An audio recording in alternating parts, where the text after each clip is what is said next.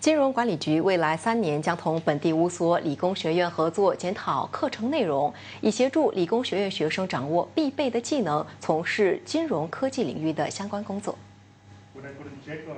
根据金管局和理工学院签署的合作备忘录，理工学院的课程内容将进行调整，更符合金融业在金融科技方面的需求。预计理工学院每年修读银行与资讯科技相关课程的两千五百多名学生将会受惠。对金融科技有兴趣的理工学院毕业生，金管局会为他们介绍实习机构。义安理工学院就计划在明年提供一百个金融科技相关的实习机会，同时网罗一百名相关领域的导师。金管局也会为理工学院毕业生以及金融科技业者搭建平台，让他们找到可以合作的企业，以完成毕业作业，同时将所学的科技技能派上用场。